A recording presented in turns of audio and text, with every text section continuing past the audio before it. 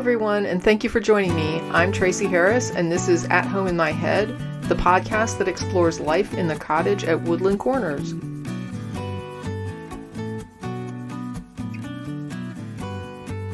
Happy Juneteenth, 2021. Earlier this week, I watched President Biden sign Juneteenth into federal holiday status. Despite the culture wars raging all around us, it passed the Senate unanimously and made it through the House of Representatives with only 14 no votes. Ironically, two of those votes came from Republican representatives in Texas, where Juneteenth has been an uncontroversial holiday in their home state literally for decades. What caught my attention was the objection of Chip Roy, who has represented the Texas 21st District since 2019 and who had this to say Quote, the holiday should not be called Juneteenth National Independence Day, but rather Juneteenth National Emancipation or Freedom or Otherwise Day. This name needlessly divides our nation on a matter that should instead bring us together by creating a separate Independence Day based on the color of one's skin. Unquote. Roy is correct. It does create a new Independence Day based on the color of one's skin, because historically the first Independence Day we celebrate on July 4th was based on the color of one's skin. We just don't like to think about that too deeply, or, it seems, even acknowledge or admit it. It seems a lot of people in the US are taking a similar position. If we ignore it or downplay our racist past, we can pretend it didn't happen or it wasn't that bad. I suspect that at least part of that motive, recognized or not, is to ignore and downplay the results of that history that have never been adequately addressed or rectified. I shared out some recorded testimony of former enslaved people on social media, and a theme I heard was how they were turned out like farm animals that were no longer useful. With no means, nowhere to go, and no skills except for service or labor for which they'd been exploited, they were desperate and ripe for new forms of exploitation. The New York Times has an 1865 article in their archives from Texas entitled Negroes and the Labor Question General Advance in Wages feelings of the people, the crops, condition of the country. The article warns the newly freed slaves that they should stay with their former masters, that are now referred to as employers. They should not travel public streets without permission from their employers, not congregate near any towns, basically don't exist in homeless encampments, and finally, the article warns landlords not to rent housing to former enslaved people. The article also makes it clear that in light of the new situation, white leadership will be beefing up their white police forces to enforce all of these newly required security measures to keep white people safe from the threat of black emancipated slaves. This was what emancipation looked like for former enslaved people. And since that time, black citizens generally have had to struggle against the white establishment, expending blood, sweat, and tears for every inch of ground they could gain fighting their way through the same legal system that institutionalized, codified, and upheld their brutal enslavement for so many generations. It was the same legal system indigenous Americans had to struggle through to prove that displacement efforts by Jackson and Van Buren were illegal land grabs and for all their hard work in using that cumbersome legal scaffolding to prove to white people using our own white laws that it was illegal, not just immoral, to commit genocide and displace indigenous populations, our executive powers simply noted that our judicial branch has no enforcement authority and continued to illegally slaughter and steal the lands in what became known to history as the Trail of Tears. U.S. slavery was a brutal system that included executions, severe beatings and penalties, and the rape of black women and girls in order to produce more property by enslaving one's own children. Before the U.S. existed as a nation, while we were still colonies, our slave laws were based on biblical systems of slavery, which held that the state of one's father, whether free or slave, determined one's fate. If your father was a free man, then you were free. If your father was a slave, you were a slave. But in 1655, an enslaved woman, Elizabeth Key Grinstead, sued in Virginia claiming her father was a free man. She won the case and her emancipation. As a result, the laws were changed to provide that children would maintain their mother's status rather than their father's. This caught on and became the status quo. When you make the game, you make the rules. When you make the rules, you can change them when they stop benefiting you. It was clear who was making the rules in the US. The same people who revolted against the British government and created a new set of rules in order to form, quote, a more perfect union, unquote. And their idea of more perfect included slavery, no right to vote for women, and the genocide and displacement of indigenous Americans. Circling back to Roy's comment, the U.S. Revolution was not for everyone. It was a specific dispute for a specific group, and that group benefited from revolution. They then set up their own system where all the benefits and privileges belonged solely to them. We sometimes hear that some of the founders were opposed to slavery. Nobody should confuse that with a belief in equity for all. Whatever abolitionist leanings some of them professed, every one of them signed on to a document that founded a new nation that included all the injustice and brutality of our system of codified, institutionalized, race based slavery. If I wanted to found a new nation, and someone suggested that we strike a compromise to enslave a particular demographic of the population, stripping them of all human status and codifying their existence as property, that would be a non starter. Everyone who signed the Constitution agreed to that condition. Every one. A common justification is to say the attitude of white supremacy was pervasive back then, and so we can't blame the founders for believing the white race was superior and that people who were not white were inferior. However, this erases the experience and expressions of the people who were non white. Many of them understood they were just as human and just as entitled to their own culture and way of life. But the historic record belongs with the victors, and so non whites, for the most part, had no voice, were not respected by white people, and did not have access to the levers of white power required to change anything within the white system they were compelled to navigate. Beyond that, though, whether white people were broadly under this misconception or not, does not change the fact that this is the very definition of white supremacy and the foundation of ideological racism. Being able to explain why someone is a white supremacist does not change the fact that they are a white supremacist.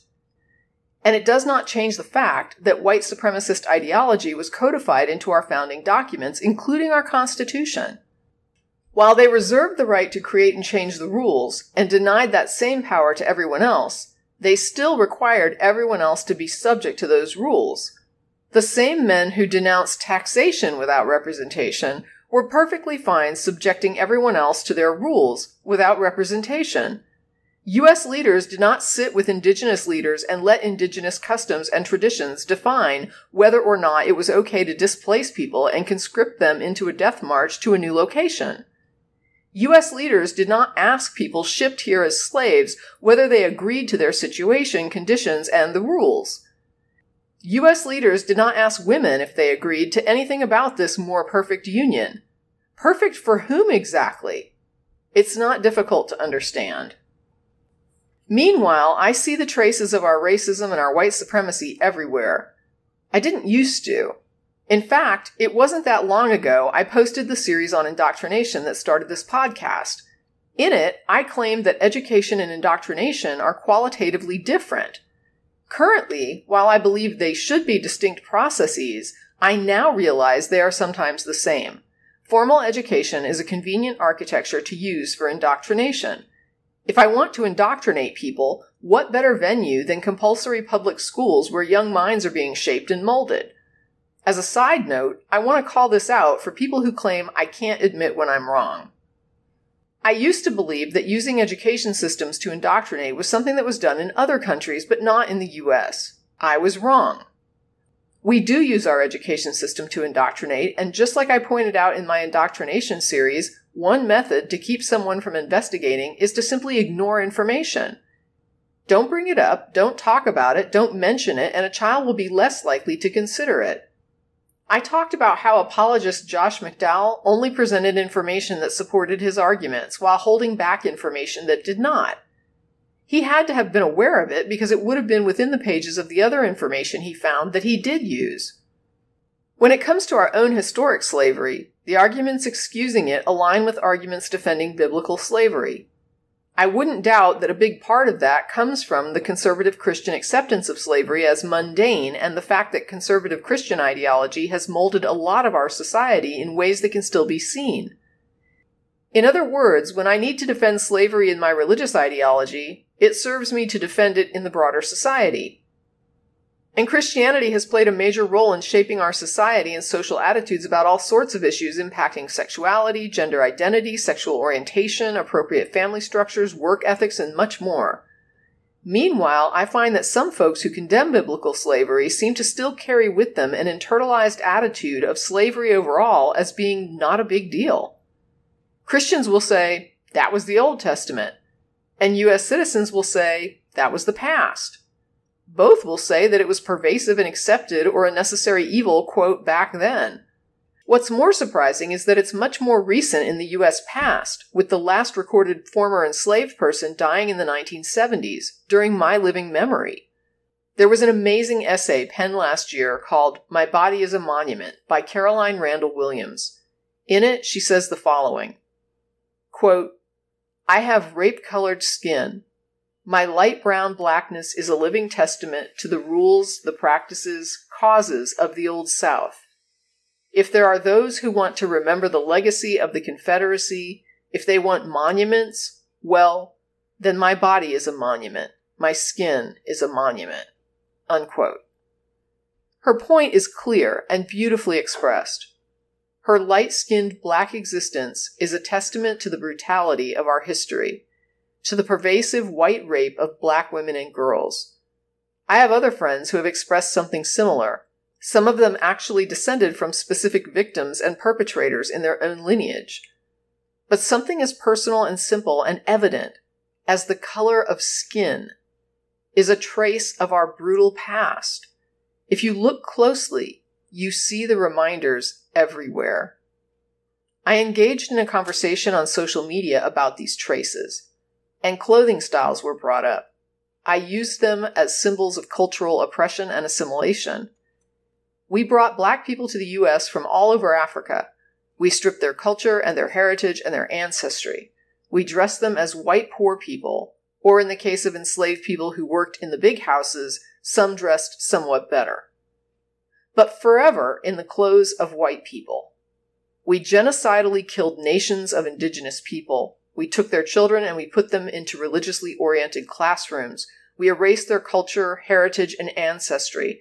We dressed them in the clothing of white people. There are some interesting composites online of juxtaposed images of indigenous children in their own villages and then in white schools where they're dressed in white clothing. This is a quote from one of the articles I'm linking in the description.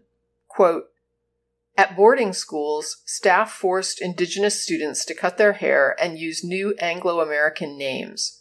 They forbid children from speaking their native language and observing their religious and cultural practices.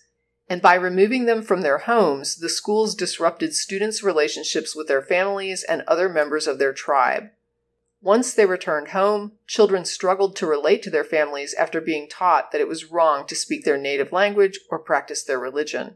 Unquote. This was not cultural transference. This was forced cultural assimilation. It impacted not just clothing, but hair, religion, names, language. No stone was left unturned. No relic of their non white identity was respected. We separated them from every aspect of their culture and replaced it with a whiteness. All the things white people declared as better. Because of this thorough attempt to destroy any remnant of non white identity, traces remain all around us. A documentary on Netflix called Good Hair looks at the network and industry around giving black women hair that more resembles white ideals to this day, natural black hair still struggles to find acceptance in white society. I happened upon a few different pieces of media recently that reflected the clothing symbolism. A documentary about palm oil, a documentary about coltan mining, and a Netflix fantasy series called Invisible City. In both documentaries, white assimilation is featured. Workers are dressed as poor whites and subjected to indignities. Those willing to adopt the white model of exploitative success dress more like modern white businessmen. It's easy to observe that the more able indigenous individuals are at assimilating to white models and ideals, the more they're rewarded with white expressions of success. In the Coltan film, particularly, I watch scenes of men surrounded by women who also emulate Western ideals, wearing expensive Western suits, driving flashy cars, eating expensive meals in Western style restaurants in the city, all because they have adopted Western models and learned how to exploit their peers to benefit white owned corporations and Western consumers. The better they are at understanding how to make themselves valuable to white interests, the more they are rewarded. All of this comes at the expense of people who are more rural and who don't even understand what their legal rights are or know how to access due process or raise a legal complaint. They are abused and exploited because they can be without consequences. Often it's not legal, but the laws aren't relevant because in reality it's happening.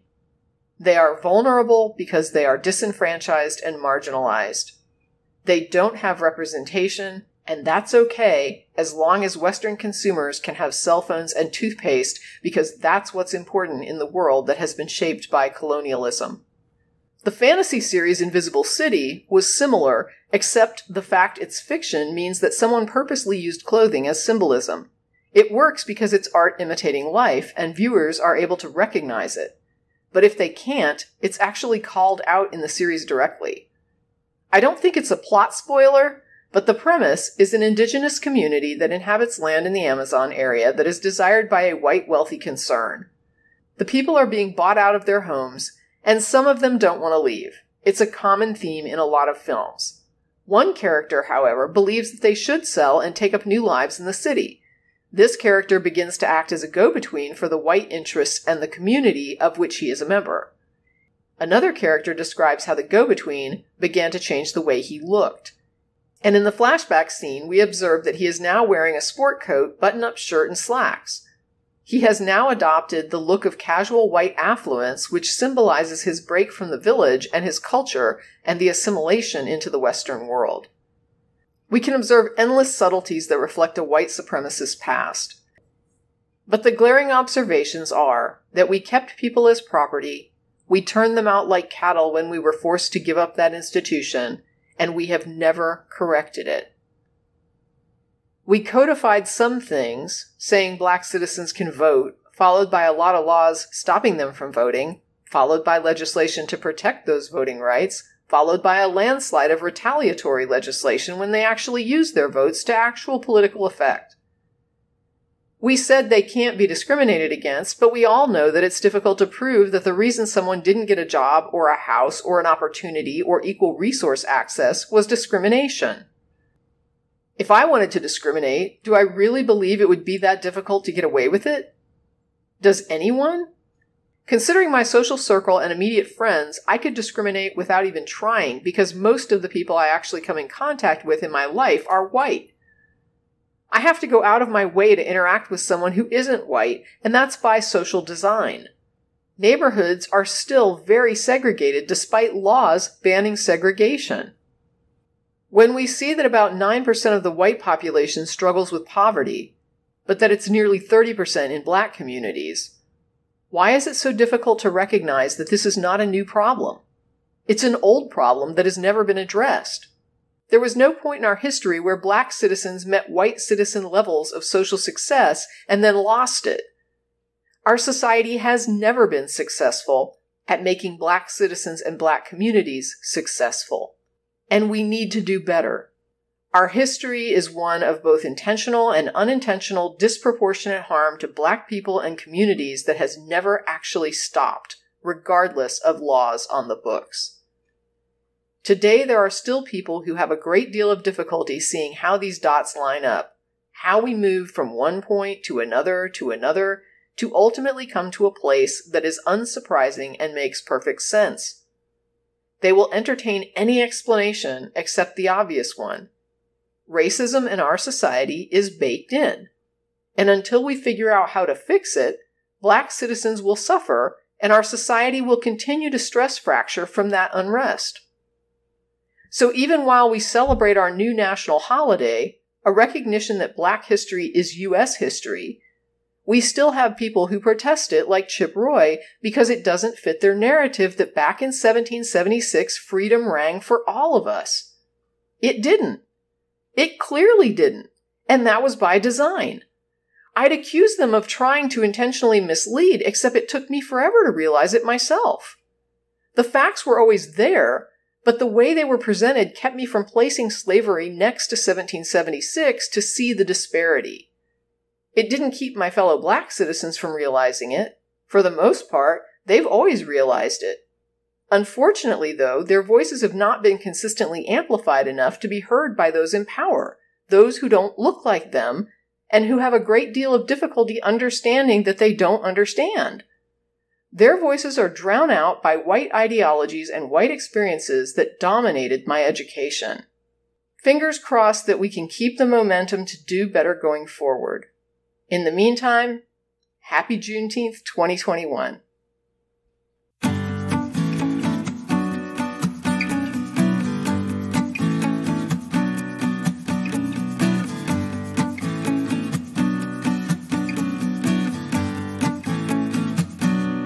That's it for this episode of At Home in My Head, exploring life in the cottage at Woodland Corners. Thanks for listening, and as always, stay safe, be well, and never stop exploring.